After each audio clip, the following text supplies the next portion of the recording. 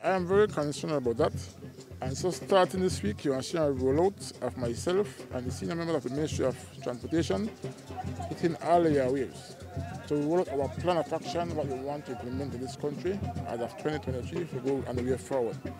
I was, uh, there was an accident about two weeks ago on the Stann Creek Valley Road with the Ministry of Natural Resources staff.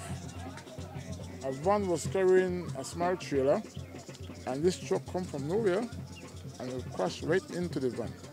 We want to find out the truck literally had no brakes. So we are going to also implement very soon an inspection center where every vehicle we have to go there for inspection because we have to mitigate the amount of accidents in this country because lives are being lost.